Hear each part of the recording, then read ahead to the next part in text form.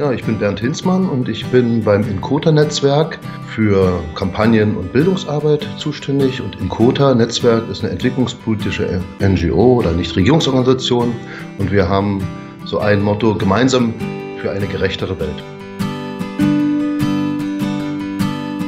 Vor allem in den letzten Jahren dieser Trend zu Fast Fashion, immer schneller ein Kollektionswechsel, immer schneller neue Angebote. Und auch vor allem die Zielgruppe der Jugend zu animieren, dass sie diese kaufen müssen, brauchen müssen und dergleichen mehr hat dazu geführt, dass eigentlich massive Menschenrechtsverletzungen bei der Herstellung von Bekleidung vorhanden sind, also dass Menschen einen Lohn bekommen, von dem sie eigentlich nicht leben können, dass es immer noch Kinderarbeit gibt, dass beispielsweise auch Menschen, wenn sie protestieren, wie jetzt aktuell in Bangladesch, äh, für einen besseren Lohn, dass sie inhaftiert werden, dass Gewerkschaftsbüros geschlossen werden, dass sie gefeuert werden und auch unter Anklage gestellt werden. Das können wir nicht weiter hinnehmen und da muss sich was ändern.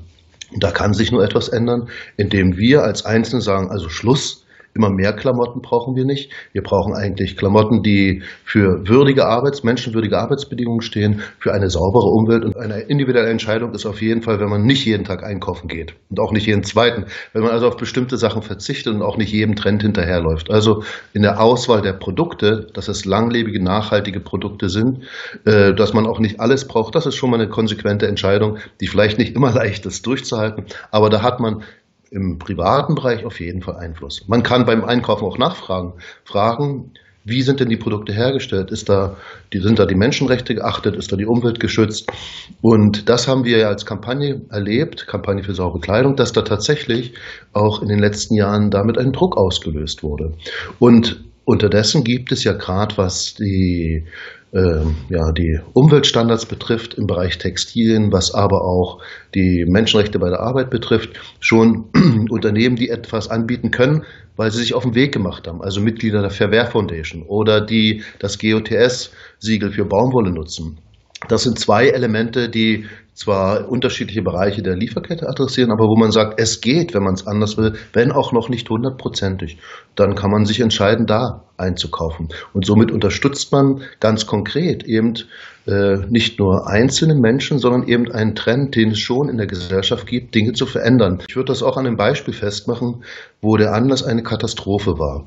Und zwar in den Medien hier, aber nicht nur in den Medien, ich glaube bei jedem Einzelnen im Kopf und letztlich im Herzen ist angekommen, so eine Katastrophe wie Rana Plaza, dass ein ganzer Gebäudekomplex zusammenstürzt, dass Menschen zu Tode kommen, dass äh, viele auf ihr Leben hin äh, geschädigt sein werden, dass viele auch keine Arbeit mehr haben werden, damit auch das Einkommen für die Familie nicht da ist. Sowas darf nicht mehr passieren. Das ist untragbar.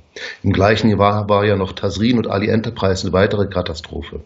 Und äh, es hatte am Anfang den Anschein, dass alle schockiert sind, der Einzelne wie auch sogar in der Politik, aber es passiert nichts. Nach öffentlichem einzelner Menschen und der Kampagne für saubere Kleidung, international auch der Gewerkschaften, hat Politik einen anderen Rahmen gesetzt und letztlich eine Initiative unterstützt, die für mehr Gebäudesicherheit und eben auch letztlich für mehr Sicherheit am Arbeitsplatz äh, sorgen tut und will weiterhin nämlich das Abkommen für Brandschutz und Gebäudesicherheit in Bangladesch, der Akkord.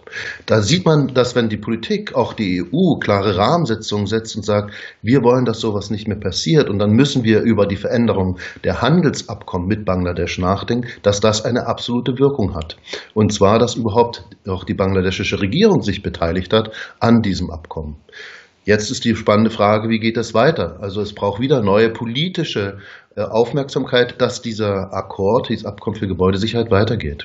Ähnlich, was ich eingangs schon sagte, dass da über 60 äh, Gewerkschafter inhaftiert wurden, weil Menschen auf die Straße gegangen sind um Weihnachten in Bangladesch, also im Dezember, äh, für bessere Löhne, für einen Lohn, von dem man leben kann. Und dann kam es zu den Inhaftierungen. Da war ganz klar ein Zeichen, und das muss man sagen, hat sich verändert, auch von Unternehmen, die gesagt haben, das geht nicht. Man kann sich nicht als bangladeschische Regierung für ein Textilbündnis, also nachhaltige Textilien, committen und dann äh, bei dem zentralen Punkt der Gewerkschaftsfreiheit und den berechtigten Forderungen so brutal und radikal vorgehen. Das ist ein Widerspruch. Wir brauchen da andere Regularien und die müssen vielseitig aussehen, damit äh, letztlich Unternehmen auch zur Verantwortung und zur Sorgfaltspflicht genötigt sind, aber ebenso die Opfer zu ihrem Recht kommen. Lösungen im Einzelfall sind gefunden worden, aufgrund öffentlichen Drucks, aufgrund politischen Handelns, aber eine grundsätzliche Regelung, die steht noch aus.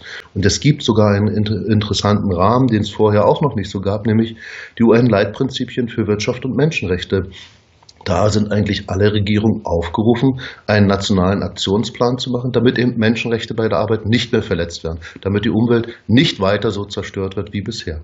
Das wäre eine gute Sache, wenn mehr Menschen auch so eine Anliegen unterstützen. Deswegen lanciert in Kota auch immer Online-Kampagnen, also beispielsweise Menschenrechte ins Gesetz. Das war eine Online-Kampagne, die wir dann übergeben haben, auch der Bundesregierung. Da kann jeder Einzelne mittun. Wir planen jetzt auch in diesem Jahr wieder einen Aktionsworkshop. Da geht es gerade um Schuhe und Leder, wo man inhaltlich miteinander diskutieren kann. Aber klar, die Idee ist, dass man auch mit Aktionen wieder in der Straße und auf der Straße sichtbar wird.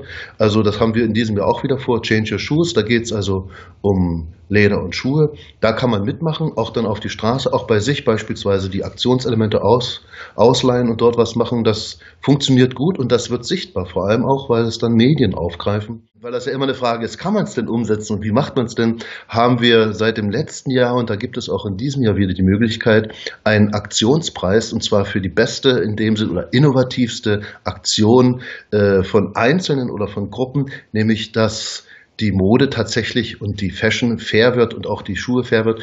Und der Preis heißt die spitze Nadel. Und im vergangenen Jahr haben wir drei äh, wirklich sehr unterschiedliche, aber doch sehr motivierende Aktionen auch mit diesem Preis äh, ja in dem Sinn beglücken oder ausstatten können. Und gerade die Jugendgruppen und Fashion Revolution, die werden ja in diesem Jahr weiter aktiv sein. Und sowas wünschen wir uns, weil wir merken in den Diskussionen mit Unternehmen, in den Verhandlungen auch jetzt im Rahmen des Bündnis für nachhaltige Textilien, dass das eigentlich auch uns Rückenhalt gibt, weil nämlich dadurch deutlich wird, es sind nicht einzelne Spinner, die sagen, das ist untragbar, was da stattfindet, sondern das ist ein Grundproblem, vor dem unsere Auch steht. Es kann nicht so weitergehen, wie im Moment Produkte in Ländern, die außerhalb des europäischen Radars sind, hergestellt werden. Menschenrechte bei der Arbeit müssen geachtet werden und die Umwelt geschützt.